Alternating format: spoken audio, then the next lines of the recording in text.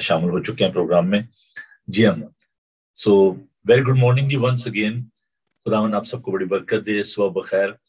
आपका दोस्त, आपका भाई, आपका खादम पादी नोबल सैमुअल, आपके साथ आपका दिल पसंद प्रोग्राम लिए हुए हाजिर है प्रेयर ब्रेकफास्ट शो ये ब्रेकफास्ट शो जो है, ये जिसमें हम खुदाम का पाक कलाम मिलकर सीखते हैं और रूहानी जो बरकत उनमें शामिल होते हैं, इसके लिए हम खुदाम का शुक्र अदा करते हैं। और आपके लिए खुदाम की शुक्रगुजारी करता हूँ कि आप हर सुबह बड़ी बाकायदगी के साथ इस प्रोग्राम में शामिल होते हैं। तो आइए आज के प्रोग्राम को लेकर आगे बढ़ते हैं, लेकिन उससे पहले कि मैं दुआ मांगू और हम प्रोग्राम का आगाज़ दुआ से करें, मैं चाहता हूँ कि आप इस लिंक को जल्दी से अपने दोस्तों अजीजों के साथ शेयर कीजिए, ताकि वो भी इस प्रोग्राम का हिस्सा बन सकें। तो आइए हम खुदा के ज़िंदा पाक कलाम को देखते हैं, उसके बाद हम सब मिलकर तो दुआ करेंगे। जब तक खुदावन मिल सकता है उसके तालिब हो जब तक वो नज़दीक है उससे पुकारो। शरीर अपने राह को तर्क करे और बदकरदार अपने ख्यालों को, और वो खुदाम की तरफ़ फिरे और उस पर हम करेगा और हमारे खुदा की तरफ़ की कसरत से माफ़ करेगा। खुदा फरमाता है कि मेरे ख्याल तुम्हारे ख्याल नहीं और ना तुम्हारी राहें मेरी राहें हैं। क्योंकि जिस कदर आसमान ज़मीन से बुलंद है, उसी कदर मेरी राहें तुम्हारी राहों से और मेरे ख्याल तुम्हारे ख्यालों से बुलंद हैं। खुदा उनके खूबसूरत पाक कलाम के पढ़े, सुने और समझे जाने पर खुदा उनकी बरकत हो। आइए हम अपने सर को झुकाएँ और दुआ मांगे। कदूस ज़िंदा पाक खुदा, ज़मीन व आसमान के खालिक और मालिक। हम दिल की गहराइयों से तेरा शुक्र करते हैं कि तू कादर मुतलिक है, लश्करों का खुदावंद है, बादशाहों का बादशाह है, कहर करने में धीमा और शफकत में गनी है। हम तेरी पाकिजगी के लिए, तेरी कदूसियत के लिए, तेरी यकसानियत के लिए तेरा शुक्र करते हैं। और प्यारा खुदावन, इस बात से तेरी शुक्रगुजारी करते हैं कि तू ज़िंदगी का सर चश्मा है, तू हमें संभालता है। हम ज़िंदगी की एक एक सांस के लिए तेरा शुक्र करते हैं, रात की हिफाजत के लिए और आज के सुबह के लिए तेरा शुक्र करते हैं। आज का तमाम दिन है खुदा हम अपने आप को तेरे हाथों में देते हैं, खासतौर पर इस प्रोग्राम को तेरे हाथों में देते हैं। जितने भी अज़ीज़ बहन भाई है खुदा इस वक्त इस प्रोग्राम का हिस्सा है, उन सब पर तेरी बरकत हो और पैर खुदा हम तेरे पाकुल की मामूली चाहते हैं। हमारे ध्यानों को, ख्यालों को अपनी तरफ़ मायल कर और हम सबको बड़ी बरकत दे। यस्सु के बाबरकत नाम में हम ये दुआ मांगते हैं। आमीन। अजीजो आज चूँकि हमारे पास वक्त जो है, बड़ा कम रह जाता है और मैं चाहता हूँ कि हम जो हमने सिलसिला शुरू किया, निजात का जो सब्जेक्ट हमने शुरू किया, कल हमने इसके बारे में देखा था बैड चॉइस, ये हमारा थीम था और हम इसी टेक्स्ट को लेकर तो आगे बढ़ेंगे। और लुका के अंजिली ब्रांस के पंद्रह बाप में से हम देखेंगे। प्रोडिकल सन के बारे में। वो हमारा मेन करेक्टर है और हमारा थीम जो है, वो साल्वेशन है, निजात है। तो हम खुदा उनकी स्ताइश करते हैं और फिर उसके बाद हम आज के मजमून को लेकर आगे बढ़ेंगे। तो आज थोड़ा सा डिवोशन जो है वो मैं क्विट कर रहा हूँ क्योंकि मुझे ये है कि ये सब्जेक्ट जो है इसको मैं आज कंक्लूड करूँ। तो आइए खुदा की, हम करते हैं खुदा की स्ताइश करते हैं। चौदह बाप में खुदा ने बड़ा खूबसूरत एक दावा किया और कहा कि राह और हक और ज़िंदगी मैं हूँ। कोई मेरे वसीले के बगैर बाप के पास नहीं आता। और इस तरह के खुदावन के जो अजीम, जो दावे हैं, क्यामत और ज़िंदगी मैं हूँ, दरवाज़ा मैं हूँ, खुदा का शुक्र हो उसके इन खूबसूरत दावों के लिए। मैं ना बिना जग में फिरता रहा कौन दिखाए? अजीजो, जैसे कि अभी हमने गीत में भी कहा, तू ही है यस्सु मेरा सहारा, मैं हूँ आस लगाए। तो हमें ना उम्मीद होने की ज़रूरत नहीं है। हमें खुदा उन पर आस रखने की ज़रूरत है, क्योंकि वही हमारा सहारा है। किसी, शायद ने बड़ी खूबसूरत ये बात कही है कि मैं गिरा था तो कई लोग रुके थे, लेकिन मैं गिरा था तो कई लोग रुके थे, लेकिन सोचता हूँ कि आए थे उठाने कितने। खुदा इस मसीह दुनिया के लोगों की तरह नहीं है। लोग रुकते हैं, देखते हैं, तरस खाते हैं, चले जाते हैं। हाथ बढ़ाकर बहुत कम लोग उठाते हैं। लेकिन यीशु हमसे प्यार करते हैं और वो सिर्फ़ तरस नहीं खाता। वो हम पर सिर्फ़ रहम नहीं करता।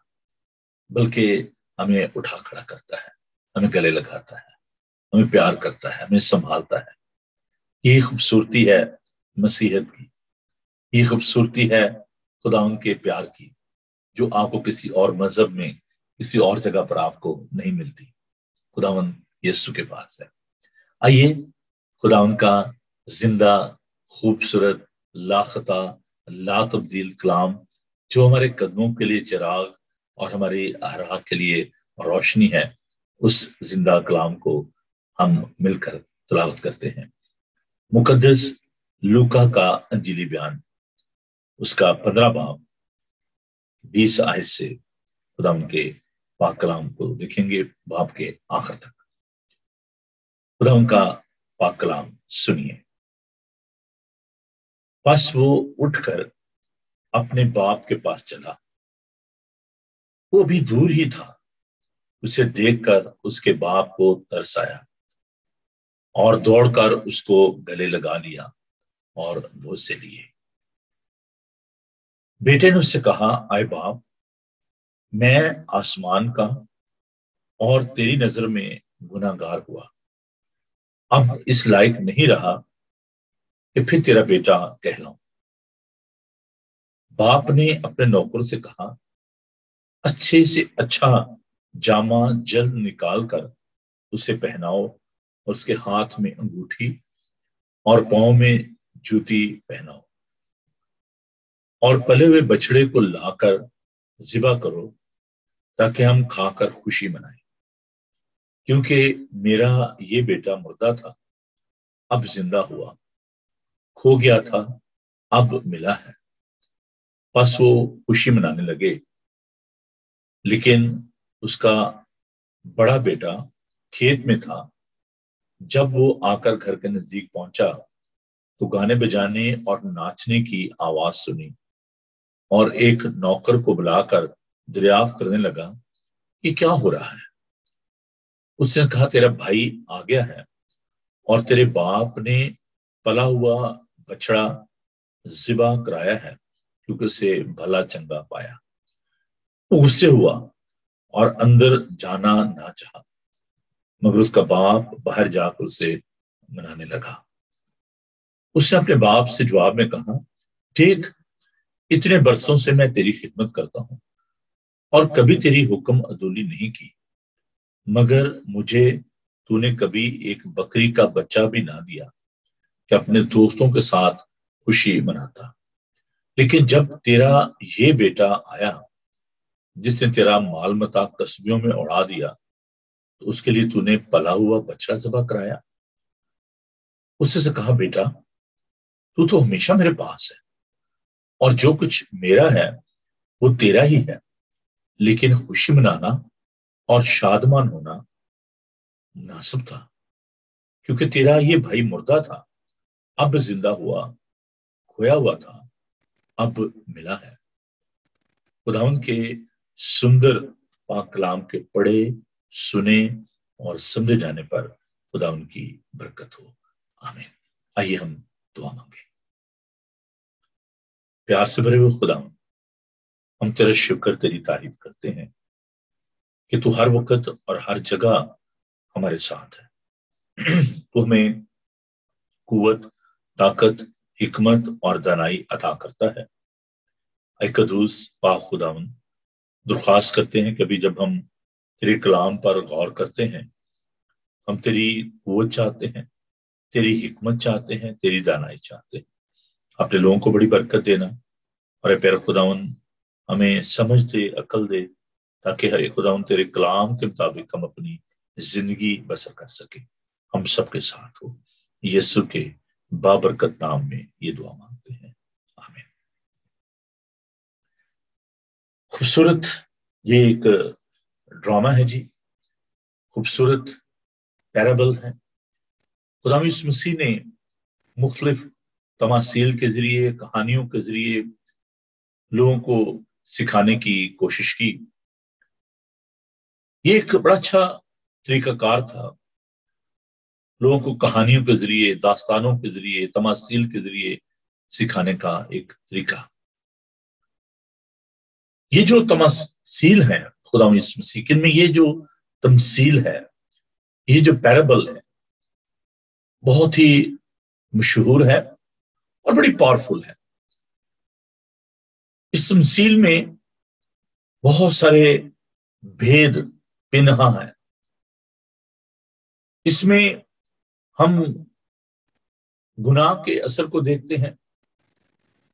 इसमें हम खुदा की मोहब्बत को सुलह को देखते हैं reconciliation love of God affects of the sin और इसके बाद attitude of the other people towards the love of God towards his grace you can see all these things in this one parable. The joy of salvation, शादमानी, खुशी, निजात की शादमानी। तो ये जो एक तमसील है, अगर हम इसका मुताला करना शुरू करें तो इसके लिए सिर्फ़ एक सिटिंग नहीं, बल्कि बहुत सारे हमें जो इसके लिए स्टडीज़ जो है, वो दरकार होंगी। मैंने अपनी काविश की कि इसको दो हिस्सों में बांटा जाए।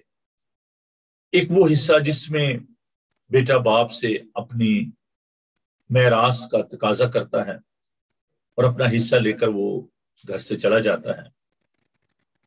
पहला हिस्सा, एक इसको आप, एक ड्रामा के तौर पर आप इसको लें। इसमें मुख्तलिफ़ करदार हैं। बेटा है जो कि छोटा है, बड़ा भाई है, बाप है नौकर चाकर हैं। तो थोड़ा सा इसको अपने जेन में विजुअलाइज करें एक ड्रामा की तरह। तो पहला जो उसका जैसे मुख्तलिफ़ एपिसोड्स होते हैं ड्रामा के तो मैंने उस तरीके से इसको डिज़ाइन किया है। पहला जो एपिसोड है, उसमें हमने देखा कि बेटा जो है, वो अपने बाप से तकाजा करता है और अपना सारा हिस्सा लेकर चला जाता है और जाकर वो कस्बियों में, दोस्तों में उस रुपये पैसे को जाया कर देता है।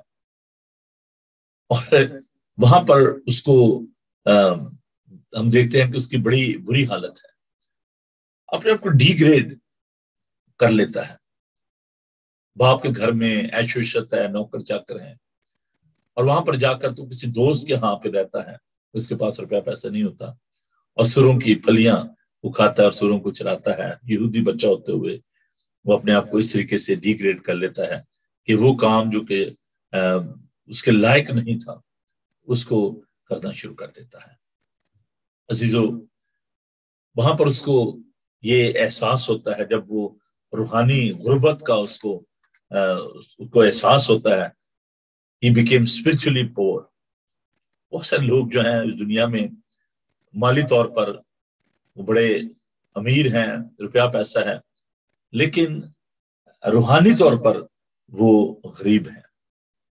उसकी वजह क्या है? खुदा से जुदा होकर आप रूहानी तौर पर गरीब हो जाते हैं, जब आप खुदा से दूर हो जाते हैं। डिग्रेड अपने आप को डिग्रेड कर लेते हैं। यहाँ पर हम थोड़ा सा जरा बुक ऑफ़ जेनेसिस की तरफ़ बढ़े। पहली किताब है, पैदाइश की किताब। खुदा ने आदम को इख्तियार दिया उसको स्टूवर्ड बनाया। ये वॉज़ अ कस्टोडियन मुख्तार था वो। जानवर, तमाम तरह की जो नेमतें और बरतें थी। He was responsible for all these things. He was a custodian. लेकिन जब उसने खुदा की नाफरमानी की और नाफरमानी करने की वजह से हम देखते हैं कि वो वहाँ से, उस जगह से निकाल दिया गया। बाकी अदन, किसी जगह का नाम नहीं है।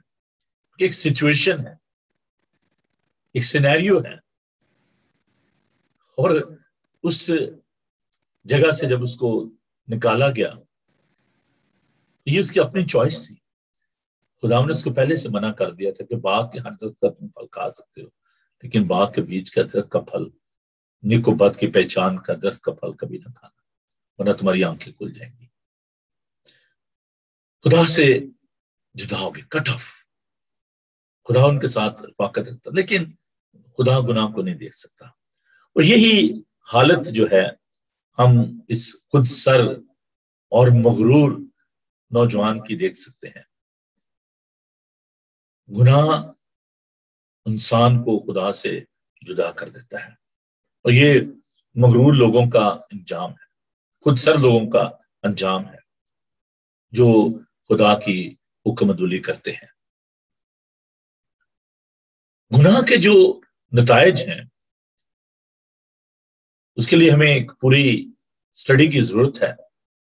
लेकिन जो चंद एक, जो नतज अभी हमने देखे, कि वो बाप की उस महरास को लेकर, उसका हिस्सा था ठीक है, रुपया पैसा उसने लिया, चला गया। लेकिन उस गुनाह की वजह से एक तो बाप से अलग हो गया और जलीलो ख्वार हो गया, दूसरों के रहम करम पर आ गया। ये गुनाह के नतज है। और चीज़ों खुदावन पाकलाम में हम इस बात को देखते हैं। लिखा कि जब उससे होश आया, होश में आना बहुत ज़्यादा ज़रूरी बात है जब उसको होश आया। जब उसको एहसास हुआ। जब उसने महसूस किया। सत्रह में लिखा है, लुकास का पंद्रह बाप उसकी सत्रह है। फिर उसने होश में आकर कहा, मेरे बाप के कितने मजदूरों को अफराद से रोटी मिलती है और मैं यहाँ भूखा मर रहा हूँ। होश में आना क्या है? इंसान के जहन की तीन हालतें हैं। Sorry I am not a psychologist लेकिन जितना को मुझे मालूम है, वो आपके साथ शेयर करता हूँ। They are three different condition of our mind एक जिसको हम कहते हैं conscious now we are conscious हम अभी शौरी हालत में है। दूसरी जो हालत होती है, जिसको हम कहते हैं लाशौरी हालत। सब कॉन्शियस जब आप सो रहे होते हैं आप लाशोरी हालत में होते हैं। अगर कोई शोर हो, कोई गाड़ी गुजर हो तो दफ़ा आपको मालूम होता है। तीसरी जो हालत है, जिसको हम कहते हैं गैर शौरी हालत अनकॉन्शियस कुछ पता नहीं। बेहोशी की हालत कह लें आप उसको। आपको कुछ मालूम नहीं होता कि आपके इर्द गिर्द क्या हो रहा है। ये शख्स जो है, ये इससे पहले कैसी हालत में था, उसको मालूम नहीं था। उसके साथ जो है वो, उसने इतना बड़ा अपने साथ, खुद उसने उसे अपने साथ ज़्यादा की है कहने को वो शौरी हालत में था। कॉन्शियस था लोगों की नज़र में। चल फिर रहा था, खा पी रहा था, चाहे फलियाँ खा रहा था सुरों की। लेकिन रूहानी तौर पर वो अनकॉन्शियस था। मुर्दा था। कुछ पता नहीं था। खुदा की मोहब्बत, बाप की मोहब्बत को वो भूला हुआ था। लेकिन जब उसको होश आया, देखते जब इंसान बेहोश होता है और फिर जब उसको होश आया तो मैं कहा हूँ, मेरे साथ क्या हुआ? यही हालत जब उसको होश आया, रूहानी तौर पर जब उसकी आँखें खुल गई और वो जो गुनाह की वजह से उसकी आँखें बंद थी दिमाग बंद था। कलाम कहता है कि वो देखते हुए देख नहीं देखेंगे और सुनते हुए भी नहीं सुने यही हालत है। और खानी तौर पर मुर्दा। खुदाम का कलाम ही कहता तू जो कहता है कि मैं ज़िंदा हूँ, पर तू है मुर्दा। मुकाशा तीन बार और उसकी पहली आयत। मैं तेरे कामों को जानता हूँ। मेकअप योर माइंड अपने जेन को तैयार करें। रिजॉल्व योर इश्यू उसके लिए आपके अंदर निजात की ख्वाहिश का होना बहुत ज़्यादा ज़रूरी बात है। मैं उस डिटेल में नहीं जाऊँगा कि जी निजात जो है आ, क्या है और जो एक ट्रेडिशनल जो एक होती है आउटलाइन ऑफ़ कोर्स आप जानते हैं निजात मखलसी रिहाई मुक्ति है। और सवाल ये पैदा होता है कि हमने उस मुक्ति को, उस निजात को, उस मखलसी को हासिल कैसे करना है? सबसे पहले जो बात है, वो ये है realization try to be conscious होश में आए, एहसास से गुना गुना का एहसास करें। इससे पहले जब आपके अंदर बाप के मिलने की ख्वाहिश और तलब, आपको अपने गुनाह का एहसास होना चाहिए। बहुत सारे लोग जो है वो इस ख्वाहिश को रखते हैं। तलब है उनके अंदर। Belong for fellowship desire for fellowship लेकिन वो गुनाह का एहसास नहीं करते। Continuously they living in sin and there not having such fellowship वो कहते हैं हमारी ख्वाहिश है। लेकिन अगर वो बुरे काम भी करते जाते हैं, फिर ये अपने अंदर ख्वाहिश भी रखते हैं।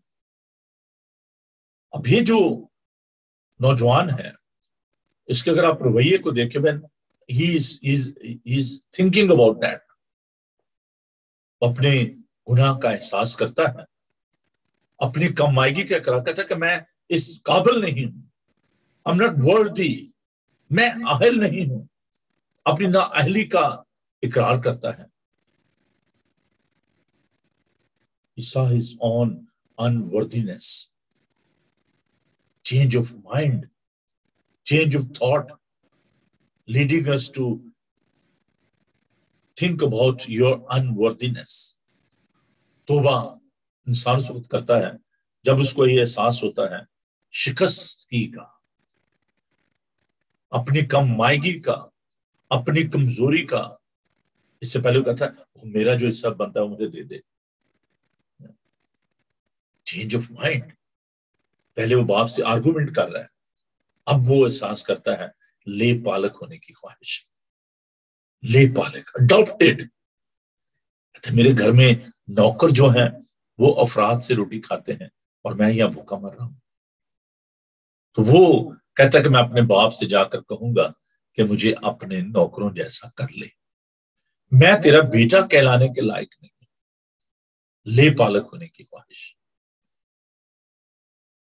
और अजीजो, ये जो एहसास है, खुदा का पाकरू हमें बख्शता है, क्योंकि उसको कायलियत का रू कहा गया ये खुदा के पाकरू का काम है। खुदा का पाकरू हमें कायल करता है और हमें यीशु की तरफ़ लेकर जाता है। पॉइंट आउट करता है। देर साल्वेशन निजात यीशु के पास है। और खुदा का पाक कलाम, जो कि खुदाम के रूह की तहरीक से लिखा गया, उसमें हिमाल चार बाब उसकी बारह में लिखा है, आसमान के तले, ज़मीन के ऊपर आदमियों को और कोई दूसरा नाम नहीं बख्शा गया, जिसके वसीले से निजात हो। इब्ने आदम खोए को ढूँढने और निजात देने आया है। खुदाम का पाकरू कॉन्टिन्यूसली मिनिस्ट्री का काम करता है, हमें सिखाता है, हमें कायल करता है। लेकिन ये बात याद रखिए, खुदाम का पाखरू तो हमें कायल करता है, उसको कायलियत का रू कहा गया कन्विक्शन जो है कायल होना, बेटे का वापस आना, उसके लिए एक और चीज़ जो है बड़ी खूबसूरत है निजात के लिए, वो है ईमान फेथ उसको ये मालूम नहीं था कि उसके साथ क्या होने वाला है। जब वो वापस जाएगा तो क्या उस, जो कुछ उसने किया है उस लायक है कि उसका बाप उसको अपने घर में दाखिल होने दे? बट दैट्स फेथ अनदेखी चीज़ों का सबूत वो चीज़ें जो हमें नज़र नहीं आती। पहली बात, ईमान में यकीन करना, इस बात का कि वो चीज़ें जो मैं नज़र नहीं आती, वो मौजूद हैं।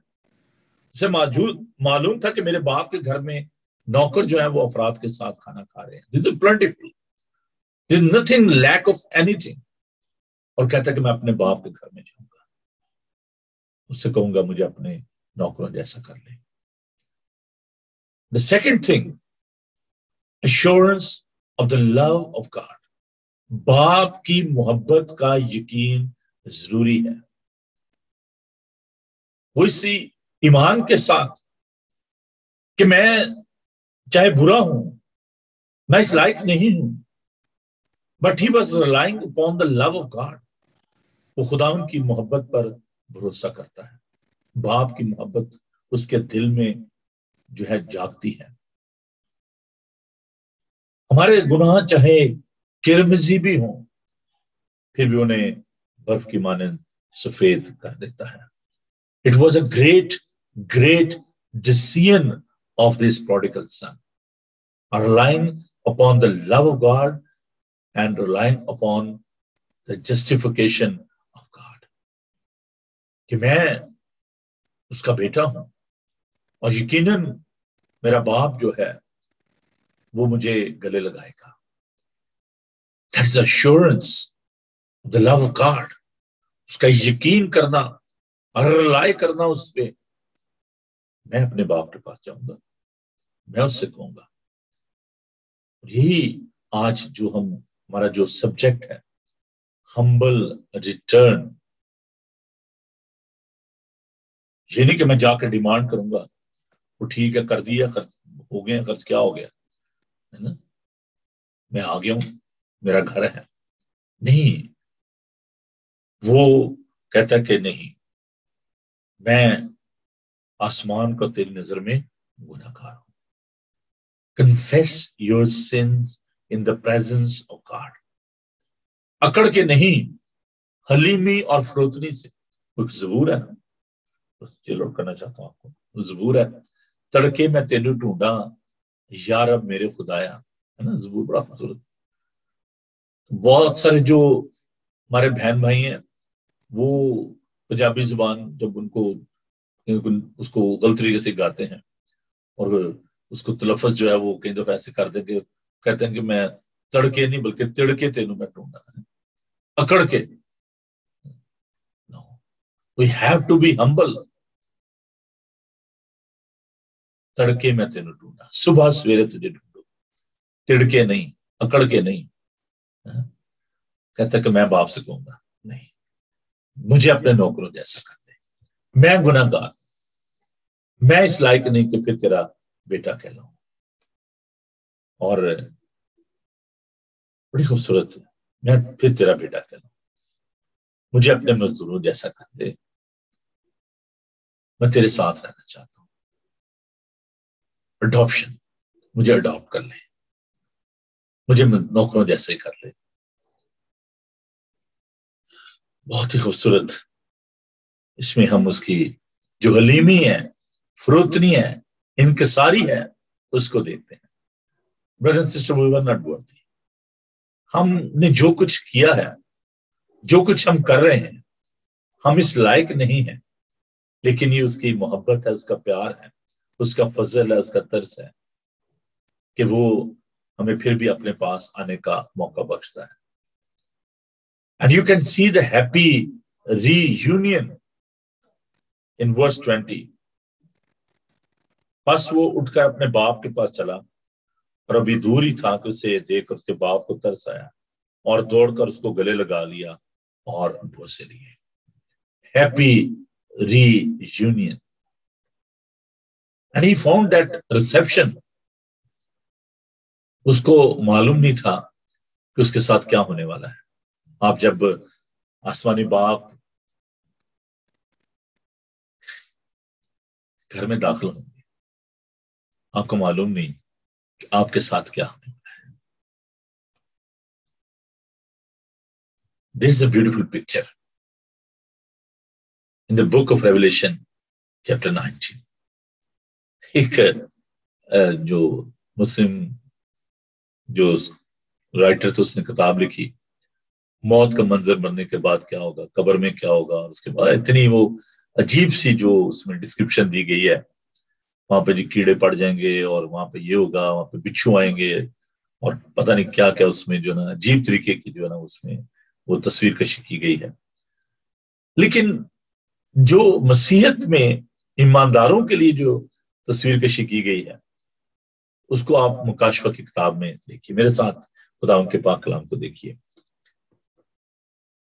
दिस इज़ अ होप और उस कहता है कि अभी हमें आईने में धुंधला सा दिखाई देता है, लेकिन फिर रूबरू देखें। कहता है कभी मेरा इलम जो है वो नाकिस है। लेकिन जब कामल आएगा तो वो सब कुछ अच्छा देखें मुकाशवा उसका उन्नीस पाप और उसकी सात आयत से। आओ हम खुशी करें, और नहायत शादमान हो, और उसकी तमजीद करें, इसलिए कि बर्रे की शादी आ पहुँची, और उसकी बीवी ने अपने आप को तैयार कर लिया, उसको चमकदार और साफ़ महीन कतानी कपड़ा पहने के तैयार दिया गया, क्योंकि महीन कतानी कपड़े से मुकदस लोगों की रासबाजी के काम मुराद है। और उससे मुझसे कहा, लिख, मुबारक है वो जो बरे की शादी की जाफत में बुलाए गए। फिर उसने मुझसे कहा, ये खुदा की सच्ची बातें हैं। तो हम यहाँ पर इस बात को देखते हैं कि एक बहुत बड़ी जियाफत है। उसका एहतमाम किया जा रहा है। रिकॉन्सिलिएशन को देखते हैं। बहाली, सुलह, भाप दौड़ कर उसे गले लगा लेता है। मुसलसल उसको चूमे जाता है। मुझे एक वाक्य याद आ रहा है। देखिए, बचपन की बातें हैं। मैं एक दफ़ा स्कूल से जो है वो दोस्तों के साथ चला गया। और मेरी जो वालदा थी वो बहुत प्यार करती और इस हद तक कि वो बासकत जब स्कूल में मैं होता था तो वहाँ बैठी रहती थी। वहाँ पे हमारे एक कैटिकेट्स से कैथलिक स्कूल में, सेंट पैट्रिक में। तो उनकी जो कैटिकेट्स की जो वाइफ थी वो मेरी अम्मी की बड़ी अच्छी सहेली बन गई। तो मेरी अम्मी जो थी वहाँ पर कहीं दफ़ा बैठे रहना उन्होंने जब तक मैं स्कूल में होता तो इतनी प्रोटेक्ट मैं तो और प्रोटेक्ट अब कह लें, क्योंकि मैं छह बहनों के बाद पैदा हुआ था, बहुत प्यार करती थी। तो उन्होंने वहाँ बैठे रहना। तो एक दिन मैंने क्या किया कि अम्मी नहीं आई और मैंने स्कूल से राय फरार इख्तियार किया। दोस्तों के साथ चला गया, पार्क में घूमते फिरते रहे। तो जब मैं घर आया तो बख्ती आ गई।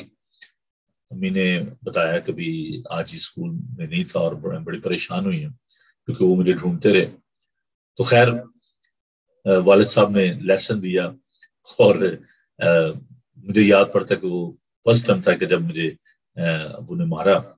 और उसके बाद क्या हुआ कि उनके दिल में जो मोहब्बत थी प्यार था तो शाम को मुझे वो जैरसिक पार्क जो फ़िल्म थी वो दिखाने के लिए ले गए प्यार किया बड़ा उन्होंने।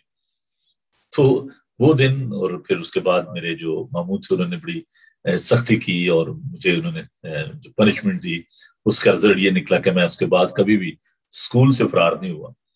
तो खैर, बाप की मोहब्बत उन्होंने मुझे तंबी भी की और प्यार भी किया। आप सबके साथ ऐसा वाक्य ज़िंदगी में हुआ? कि जब माँ बाप आपसे प्यार करते हैं और आपको तंबी करते हैं खुदा का पाक कलाम बताता है कि अगर हमें तंबी नहीं की जाती तो हम बेटे नहीं, बल्कि हराम ज़्यादा ठहरे। तो खुदा फर्जन जानकर हमें तंबी करता है, हमें मलामत करता है। तो बाप ने होने दिया, उसने कहा, ठीक है यार, ले ले, जा, पैसा ले ले, चला जा। और उसने वो पैसा कस्बियों में, दोस्तों में सारा तबाह कर दिया, लेकिन जब वो वापस आता है तो बाप उसको गले लगाता है। और उसके लिए आप देखें कि जो लिबास उसके लिए मुहैया किया जाता है और सेलिब्रेशन हो रही है। जूती पहनाई जाती है, बूटी पहनाई जाती है। रिकॉन्सिलिएशन आप देख सकते हैं वहाँ पर। बहाली, बहाल किया जा रहा है, रिस्टोर किया जा रहा है उस रिलेशनशिप को। मोहब्बत और खलूस की खूबसूरत तस्वीर जो है, वो वहाँ पर आप देखते हैं। और जब मैं देखता हूँ कि बेटा जो है उसके नंगे नंगेपन को आप देखें। नंगे पाँव है। दाग धब्बे गंदगी। लेकिन बाप की इस तस्वीर को जब मैं देखता हूँ कि वो, इस बात को नहीं देखता वो मेरा बच्चा गंदा है, क्या है नंगे पाँव आ रहा है। लेकिन कि वो भाग कर उसने उसको गले लगाया। जिस excitement was very anxious to see his son उसे भागकर उसको गले लगाया। अजीजो, आप चाहे जितने भी गंदे हैं, जितने भी गुनाह अनुदा हैं, जैसे भी हैं, आप खुदा उनके पास आ जाए। मत सोचें कस्बियाँ महसूल लेने वाले फकी फरीसी all sort of the people जैसे भी थे खुदा ने कहा, आए, मेरे बाप के मुबारक लोगों आओ। ये बात सही तुम्हारे लिए बना आलम से तैयार की गई है, आज भी बुलाता है। आए मेहनत उठाने वालों, और बोझ से दबे हुए लोगों, सब मेरे पास आओ। मैं तुमको आराम दूँगा। इट्स यूनिवर्सल इनविटेशन हर एक के लिए, चाहे आप क्रिश्चियन हैं, चाहे आप नॉन क्रिश्चियन हैं उस एवर यू आर जैसे भी हैं, चोर हैं, डाकू हैं, कस्बी all sort of the people शराबी हैं, नशेई हैं आप सोचते होंगे नहीं मैं इस लायक नहीं हूँ आई नॉट वर्दी बस अब नहीं, मैं नहीं। लेकिन आपको वो बुलाता है आप जैसे भी हैं। लोग आपके बारे में जो भी सोचते हैं ये नंगा है इसके पाँव में जूती नहीं है इस लायक नहीं है। लेकिन कहता कि क्योंकि मेरा ये बेटा मुर्दा था अब ज़िंदा हुआ हो गया था अब मिला है बस खुशी मनाने लगे। आपको भी किसी की परवाह नहीं है कि लोग क्या सोचते होंगे। लोग क्या कह रहे हैं? गुनाह की गंदगी को वो धो देता है। हमारे गुनाह और पाप चाहे जितने भी हों उनको पाप को साफ़ करता है। थोड़ा सा एक और करेक्टर जो है उसको हम देखते हैं जो कि बड़ा ही आ, मैं समझता हूँ कि एक तकलीफ़ दे आ, जो करेक्टर है, उसको हम देखते हैं।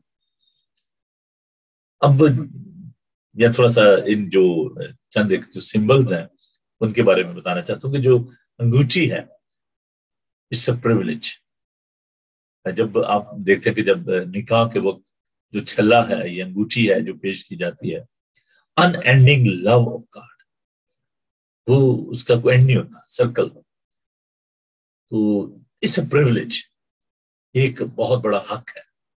इस्तेकाक उर्दू में बड़ा खूबसूरत मुझे मिला है।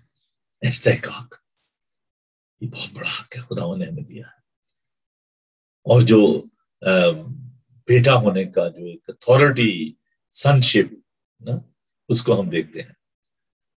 चूती साइन ऑफ़ फ्रीडम पोजीशन उसके पाँव में जूती नहीं थी। गुलामी की हालत थी। बेटे को जूती पहना हो। वो हमें नंगे पाँव नहीं देखना चाहता। वो हमें गुलामी की हालत में नहीं देखना चाहता।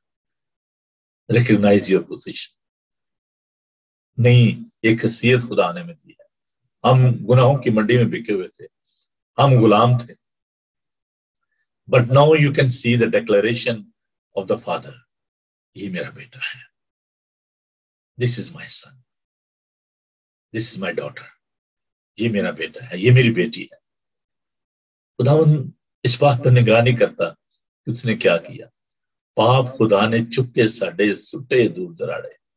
वो हमारे गुनाहों को याद नहीं शैतान जो है वो बहुत ही क्लेवर है। अब यहाँ पर हम शैतान को काम करते हुए देखते हैं कि जो बड़ा भाई है, उसके अंदर वो समाया हुआ है। वो मौका पाता है। Oh this is some time वो कहता है कि भी देखे, ये तेरा, जब उसको मालूम होता है कि भाई आया है, नौकर, उसको देखिए बाप जो है वो इंतज़ार कर रहा है और वो भागा, वो उसको गले लगाता है। और भाई को नहीं पता कि मेरा भाई आ गया है। वो जाकर तो अब यहाँ पर जो थोड़ा सा गौर कीजिएगा कि वो कहता क्या है? तेरा ये बेटा आया ये नहीं कहता कि मेरा भाई आया है? उसके तीस शायद लेकिन जब तेरा ये बेटा है, जैसे तेरा माल मता कस्बे में उड़ा दिया, उसके लिए तूने एक पला हुआ बछड़ा जुदा कराया कंडमनेशन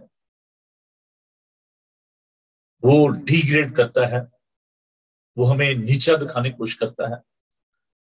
अयुब के लिए भी तो यही कहता है, वो जाकर शैतान कि तूने ऐसे नहीं इसको रास्तबाज ठहराया हुआ। तू जरा अपना हाथ हटा, इससे देखो ये तेरे खिलाफ कुफर बकता है।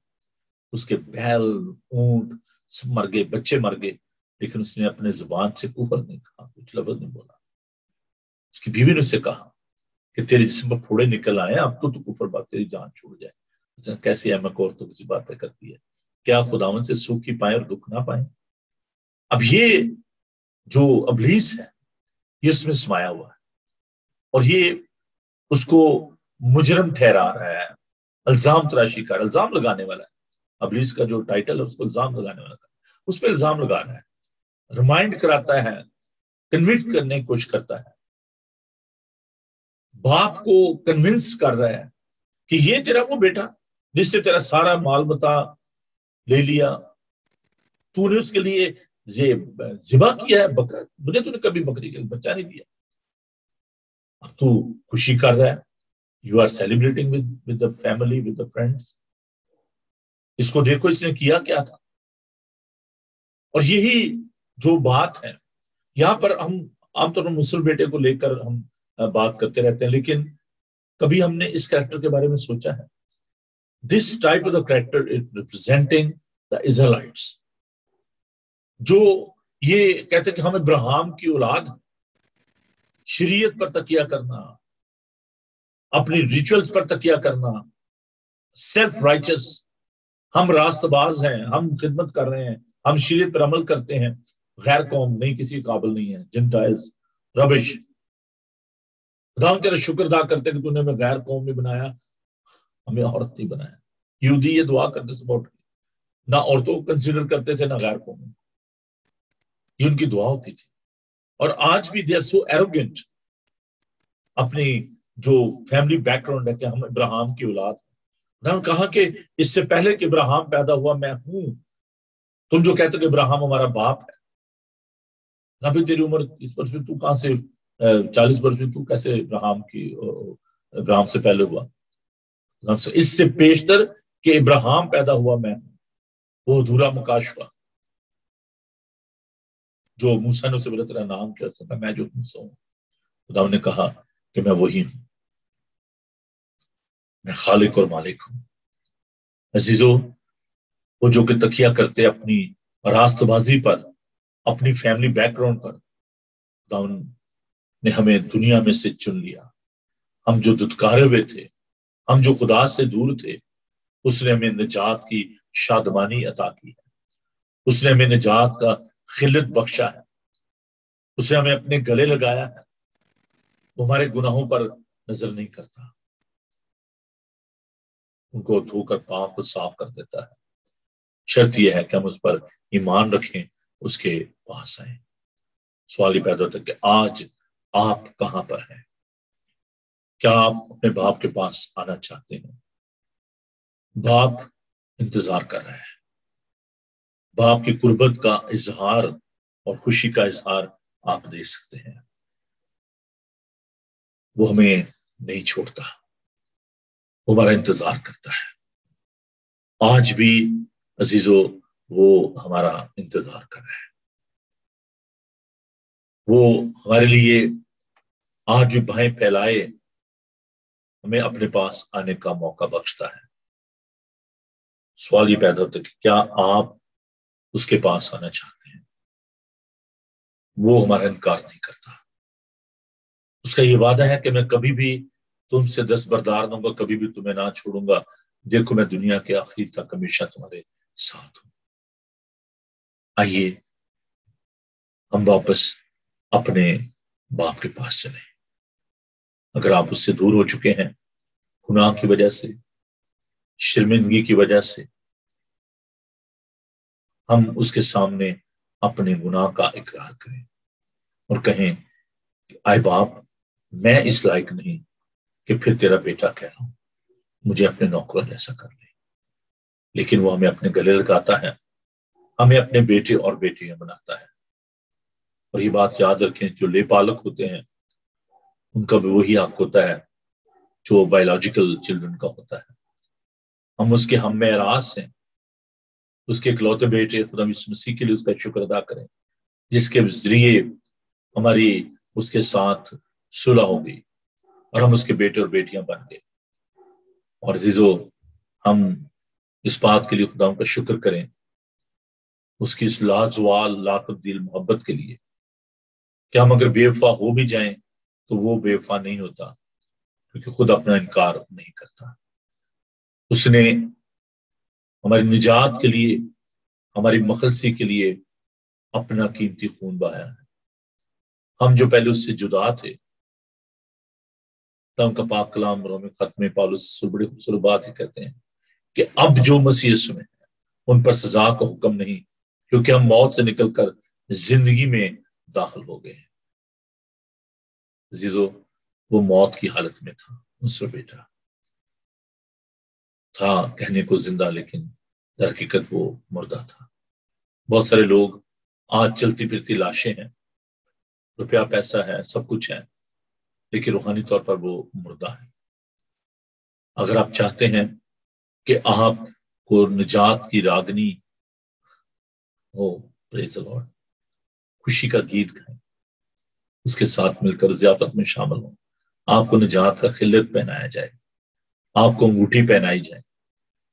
Joy of salvation it's wonderful joy वो लोग जिनको इस बात का तजर्बा है, जो गुनाहों की मंडी में बिके हुए थे, जो अबलीस के हाथों में थे, जिनको खुदावन ने मकल से रिहाई बख्शी। इसलिए खुदावन का शुक्र अदा करते हैं, जिनको उसने शफा दी, जिनको उसने बरकत दी है। मैं संडे को देख रहा था जब हम प्रेज वर्शिप कर रहे थे। वॉज़ वेरी पावरफुल नाइनटीन रात को हमारे चर्च के एक दोस्त, हमारे मेंबर काफ़ी देर उनके साथ मेरी बात हुई, भाई एजाज। तो कहते भाई सब मैंने देखा कि लोग चर्च में रो रहे थे। It was very very powerful anointing and no doubt in that जब हम खुदा उनकी तारीफ़ कर रहे थे choir they were leading the song और भाई आरफ जिनको खुदा ने शफा दी, मैंने अपनी आँखों से उस नौजवान को देखा, सारे उसके बदन पर मशीनें लगी हुई थी। वो ऐसे मुझे लगा जैसे मुर्दा लाज जो है वो कब्र में से निकला।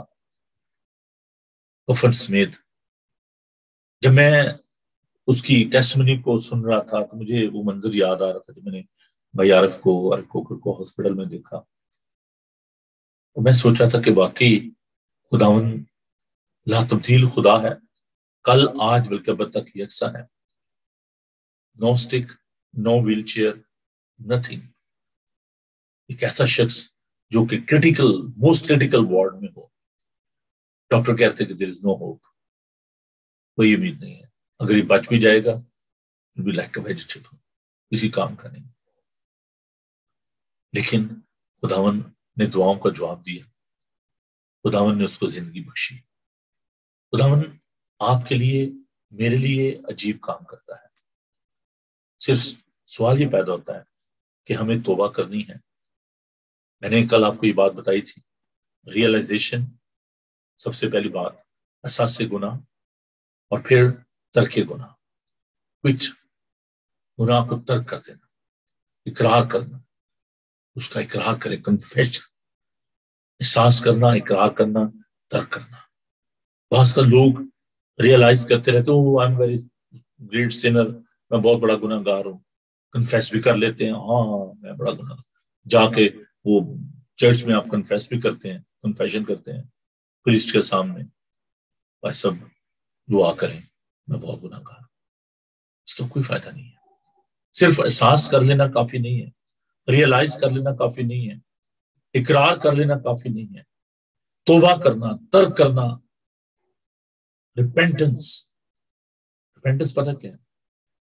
टर्निंग बैक आप, ये आर्मी की टर्म है कि आप सीधा जा रहे होते हैं लेफ़्ट राइट लेफ़्ट राइट करते हुए सडनली आवाज़ आती है अबाउट टर्न आजकल हमारे उर्दू में, वो पाकिस्तान में तो वो कहते हैं जी, हमारी उर्दू ज़ुबान है तो फिर एकदम से आवाज़ आती है।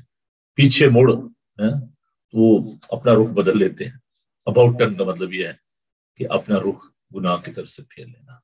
दैट्स रिपेंटेंस फिर मुड़कर उसकी तरफ़ नहीं देखना। और यही बात खुदावन ने अकलाम में ये बताई कि लूत की बीवी को याद रखो। खुदा ने कहा था मुड़ के सदूम और मुरा की तरफ़ नहीं देखना। गुनाह की तरफ़ फिर ना देखें। और उसने मुड़कर देखा तो नमक का स्तून हो गई। अजीजो, डोंट टर्न बैक। वापस न जाए। निलाई हुई सूरनी जो है, वो दलदल की तरफ़ जाती है, कुत्ता अपने कै की तरफ़। निजात खुदावन की तरफ़ से बहुत बड़ा गिफ्ट है। बहुत बड़ी ब्लेसिंग है, बरकत है। लेकिन आप गुनाह से मुँह मोड़ लें, फिर उसकी तरफ़ ना जाए। खुदावन आपको गले लगाएगा, आपको बरकत देगा। सुलह सलामती होगी, खुशी होगी, शादमानी होगी, जियाफत होगी। हम खुदा उनके साथ रहेंगे। खुदा आपको बरकत बख्शे। और उसके साथ साथ ये भी याद रखें कि अगर कोई शख्स तोबा करता है तो आप उसकी अदालत ना करें। ये भाई जो है इसका करदार याद रखें। वो अदालत कर रहा अपने भाई की। अदालत ना करें। अदालत करना खुदा का काम नैनवा में जब हम देखते हैं कि गुनाह बहुत ज़्यादा था और आ, हम देखते हैं कि योना को जब भेजा गया कहता है कि खुदावन ये क्या? तूने मुझे इतनी दूर से भेजा है और तू अब इनको माफ़ कर रहा है। खुदा ने बेल चढ़ाई वो बेल सूख गई। उसने कहा धूप बड़ी थी ये क्या हो गया? सूख कहा जो तूने मेहनत नहीं की, जिस बेल पर तूने कुछ काम नहीं किया, वो सूख गई है तुझे बड़ा दुख हुआ है। तो मैं इन हज़ारों लोगों को मार दूँ? क्या तुझे चाहता कि फेयर है? नहीं, ये मेरा फजल है, मेरी मेहरबानी कि वैन दे आर बादशाह, जानवर, इंसान सबने रोजा रखा, कुछ ना खाया, तोबा की तो खुदावन ने अपना इरादा बदल दिया। Don't try to be a जज इस भाई की तरह। तेरा भाई तेरा बेटा। नहीं। आप दूसरों को खुदावन के सामने मुजरम ना ठहराएँ। अपनी हालत पर गौर करें कि शायद आप तो देखिए उस उस शख्स पर गौर करें कि बाप के घर में था, लेकिन गुलामी के रूह से वो खुदा, वो बाप की खिदमत कर रहा था। अगर आप इस तरह से खुदावन की खिदमत करते हैं मजहबी रियाजत करते हैं, दुआएँ करते हैं, नमाजें पढ़ते हैं वो किसी काम की नहीं है। जब तक आप हलीम और फरोता नहीं होते, खुदावन की जो मोहब्बत है, उस पर तकिया नहीं करते, दूसरों को नीचा दिखाने के लिए, दूसरों को दूसरों की अदालत करने के लिए कि मैं वही वो फरीसी जो दुआ कर रहा था और दूसरे जो शख्स है, वो वहाँ पर खड़ा था गुना उसने कहा, खुदावन, मैं इस लायक नहीं कि मेरे आँखें तरफ़ देखें। मैं आसमान तक निगाह भी नहीं कर सकता। और फरीसी ने कहा, वो देखे जी, मैं तो रोजा भी रखता हूँ, हफ़्ते में दो बार अपनी जय की भी देता हूँ। शुक्र है मैं इस गुनागार की तरह नहीं तो खुदा ने कहा, मेरी नज़र में वो गुनागार जो है, वो रास्तबाज ठहरा। अगर आप अपनी शख्सी रास्तबाजी पर तकिया करते हैं, अपनी राइचसनेस पर तकिया करते हैं you are relying upon your good will your good deed that's not sufficient कितने अच्छे काम कर लेंगे कितना आप इस तरीके से खुदा को खुश कर लेंगे? नहीं। खुदा के फजल पर, उसकी मोहब्बत पर भरोसा करें। चाहे आप जैसे भी हैं, जो कोई भी है, आप खुदा के पास आए, वो आपको गले लगाएगा। उस पर भरोसा करें। खुदा आपको बरकत बख्शे। हमें आइए, दुआ मांगे। खुदावंद तेरा शुक्र, तेरी तारीफ़ करते हैं। तेरे उस बड़े फजल के लिए, तेरी उस मेहरबानी के लिए। ये पैर खुदावंद तू हमारे गुनाहों पर निगाह नहीं करता। खुदावंद तू उनको दूर फेंक देता है, उन पर निगाह नहीं करता। खुदावंद तू हम पर निगाह करता है, क्योंकि तूने हमारी कीमत अदा की है। तेरा खुदावन हम तेरे भाई लहू के लिए तेरा शुक्र करते हैं, तेरे पाक रूह के लिए जो कायलियत का रूह है, उसके लिए तेरा शुक्र अदा करते हैं। खुदा तो हमें हलीमी, फरोतनी, इनकसारी की रूह दे, ताकि खुदावन हम दूसरों को नीचा दिखाने वाले ना हो। हर कोई प्यार खुदा दूसरे को प्यार करे, दूसरे की इज़्ज़त करे। और जब कोई तोबा करता है तब खुदा जैसे आसमान पर एक तोबा करने वाले की नस्बत सेलिब्रेशन होती है, शादमानी होती है, खुशी मनाई जाती है। ऐसे खुदावन हम, वो लोग जो तोबा करते हैं, उनके लिए खुश हों। अरे प्यार खुदावन उनकी अदालत ना करें। प्यार खुदावन दुआ करते हैं कि हम सबके साथ हो खुदा जो लोग दुखी हैं, मुसीबत ज़्यादा हैं, हॉस्पिटल्स में हैं, घरों में हैं खुदा उनके लिए तेरी बरकत चाहते हैं। तेरी यीशु जी, मैं तेरा शुक्र अदा करता हूँ कि तूने हमें गुनाहों के दलदल में से निकाला। हमें पैर खुदावन तूने निजात दी। और तू चाहता कि हम तेरे साथ रहें। खुदा तो हम सबको बड़ी बरकत दे। मैं इल्तजा करता हूँ तेरा खुदा लिए कलिसिया के लिए जो तूने सौंपी है, वो भेड़े जो तूने दी हैं खुदा हैसन यूनाइटेड फॉर्म चर्च के लिए ल्यूटन की कलिसिया के लिए और दीगर तमाम उन लोगों के लिए जो कि खुदावन इस टीवी के ज़रिए, इस माध्यम से हमारे साथ जुड़े होते हैं। इनके लिए खुदा तेरी बरकत चाहते हैं। जो है खुदा अभी इस प्रोग्राम में शामिल हैं और जो बाद में रिकॉर्डिंग को देखेंगे खुदा उन सब पर तेरी बरकत हो। फिर खुदा हम बच्चों के लिए, नौजवानों के लिए खास तौर पर दुआ करते हैं कि उनके अंदर अपनी मोहब्बत को झेल वो जो कि नशाबाजी की लत में है, वो जो कि खुदा नाफरमान हो चुके हैं तो अपने घरों को छोड़ चुके हैं। खुदा दुआ करते उन्हें तोफीक दे के वो वापस अपने घर में आए, अपने माँ बाप के साथ सुलह करें। और पैर खुदा उनकी तमाम बुरी राहों को पैर खुदा तू जानता है। खुदा उनसे उनको फेर, उनके जहनों को ख्याल को अपने कब्जा में ले। तमाम पेरेंट्स के साथ हो तमाम बहनों भाइयों के साथ, उनके अंदर भी है खुदा तू मोहब्बत की रूह को उजागर कर, ताकि खुदा उन्हें गले लगाए, उनके गुनाहों को माफ़ करें। खुदावन हम इस तमाम प्रोग्राम के लिए तेरे शुक्र करते हैं और आने वाले दिनों में खुदा उन सारे प्रोग्राम्स को तेरे हाथों में देते हैं। हम सबको बड़ी बरकत देना। आज का तमाम दिन तो हमारे साथ हो। यस्सु के ज़िंदा, कदूस, बाबरकत नाम में हम ये दुआ मांगते हैं। आमीन। आए हमारे बाप, तू जो आसमान पर है, तेरा नाम पाक माना जाए, तेरी बात शही है, तेरी मर्ज़ी जैसे आसमान पर पूरी होती है, ज़मीन पर भी हमारे रोज रोटी आदमी बख्श दे जिसने अपने कर्जदारों को माफ़ करते तुम्हारे कर्ज माफ़ कर। मैं आजमाइश में न पढ़ने दी, बल्कि बुराई से बचा। उनके बाद शहीद कुदरत जला। हमेशा तक देती है। हमें खुदावन अपना चेहरा आप पर जलवागर फरमाए। खुदावन आपके बदन, जान और हिफाजत करे। आपका बुलाने वाला सच्चा वैसे करेगा। खुदा उसमें का फजल, खुदा बाप की मोहब्बत पाकुर की रफाकत और शाकत अब से लेकर हमेशा तक आप सबके साथ और दुनिया भर के मुकदसिन के साथ होती रहे थैंक यू जी, आपको ये प्रोग्राम कैसा लगा? ज़रूर हमें बताइएगा, अपनी राय से आगाह कीजिएगा। कल एक नए मजमून के साथ आपके साथ शामिल होंगे।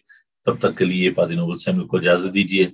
खुश रहें और खुश रखें। खुदावन आप सबके साथ हो। और जब आप यूट्यूब पे जाते हैं तो ज़रूर इस चैनल को आप सब्सक्राइब करें और अगर खुदावन आपके मन में डालता है तो आप इसको सपोर्ट भी करें। हमारी वेबसाइट को विज़िट कीजिए डब्ल्यू